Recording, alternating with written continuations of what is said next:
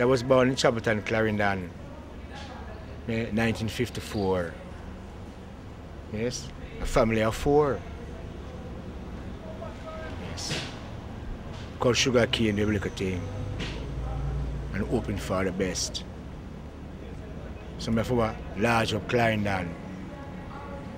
Because I one person called Dan, a Clarendon.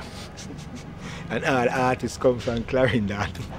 90% of the entertainers in Jamaica, I don't know why, it's Cocoa Tea, Mass, um, Colin Davis, Toots and the Maytals, Eddie Fitzroy, name them all. Yeah. But what's most important, the Prophet Bob Center amongst Marcos. And that's the biggest thing. Respect.